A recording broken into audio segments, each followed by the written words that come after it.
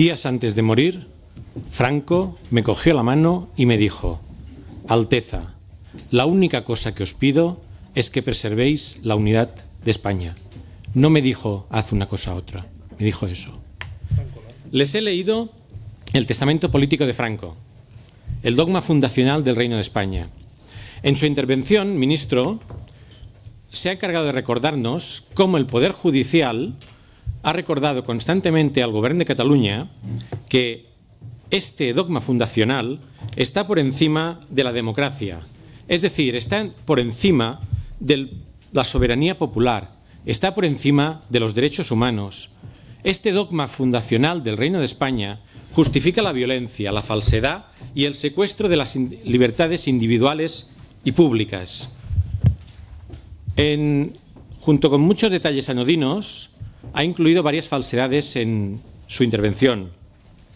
Ha hablado de la exposición de los datos personales, cuando cualquier criptógrafo sabe que no es posible.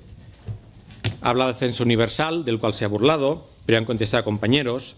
Ha hablado que la justicia europea avala la cuestión del, eh, las cuestiones que usted, eh, la actuación del Poder Judicial español, pero la única justicia europea que se ha posicionado es la belga y ha desmentido toda su tesis.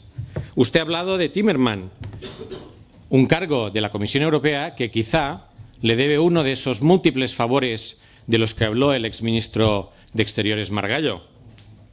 La foto que ahora usted está moviendo es otra fake news.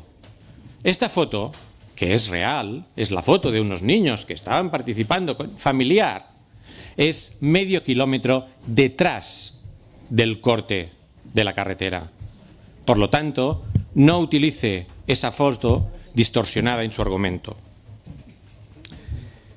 Ministro, su gobierno y todo el búnker que lo acompaña continúa empecinado en responder con violencia y represión a la voluntad de millones de catalanes de ejercer sus derechos cívicos, políticos y humanos. Es para ejercer estos derechos que miles de personas se movilizaron en toda Cataluña para transportar y guardar en sus casas las urnas y las papeletas. Su gobierno quería impedir que el gobierno de Cataluña cumpliese con el mandato popular del 27 de septiembre de 2015.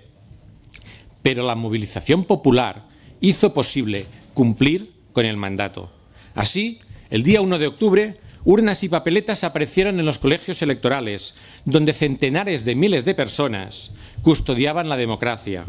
Y lo hicieron para que pudieran votar los más de dos millones de personas que ejercieron su derecho al voto. Y todo eso pese a sus amenazas y asumiendo el riesgo de las mismas. Como no han podido ni podrán encarcelar y vengarse de todas ellas, mantienen en prisión a cuatro personas honestas. Jordi Cuixart, Jordi Sánchez, Joaquín Forn y Oriol Junqueras, por estar comprometidas al más alto nivel con la voluntad democrática del pueblo de Cataluña. Lo llaman justicia, pero es venganza. Frente al carácter pacífico, democrático e incluso lúdico de la jornada, se envió a miles de efectivos jaleados al grito de a por ellos. ¿Qué significa a por ellos? ¿Significa un a por los catalanes? ¿Significa un a por los que piensan diferente? Ministro, ¿ese ellos nos incluye, por ejemplo, a los senadores catalanes aquí presentes como el mismo que le habla ahora? Ministro, por favor, respóndame qué significa a por ellos.